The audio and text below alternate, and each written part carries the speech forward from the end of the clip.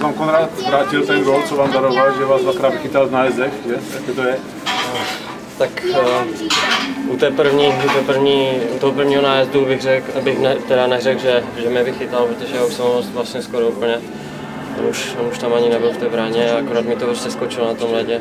Škoda, no. A po druhé, po druhé jsem tam nenašel místečko a možná, kdybych to vystřelil mezi nohy, tak, tak by tam tam spadl. Ten gol, co jste dali, ten byl laciný, že? Uh, ten gol, tam, tam dobře jsme vybojovali za bránu, Peťa Kolu se tam dobře vybojoval a, a dal mi to vlastně před bránu. Uh, špatná jejich rozehrávka od brankaře a, a já jsem to měl jenom.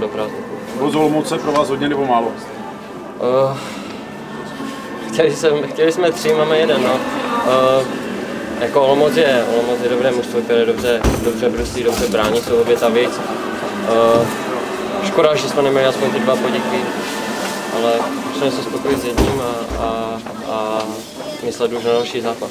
V té situaci, jaké jste, kolem toho desátého místa je hodně velká tlačenice, tam si nemůžete, že moc dovolit ztrácet. Uh, tak samozřejmě, že uh, tam jednou jsme v desíce, pak nejsme už v desíce po jedné prohře a, a uh, musíme každý zápas odřít naplno a, a do toho všechno hrát jako, jako kdyby to bylo už playoff a, a, a pokusit se bodík po bodíku, ať nám to tam přibývá v tabulce a, a udělat tu desítku. Jak se vám hraje pod takovým tlakem? Loni to bylo to stejné.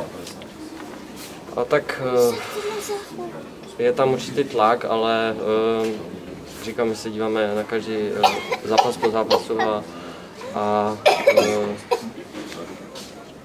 já doufám, že to dopadne dobře pro nás a uděláme desítku a budeme hrát playoff.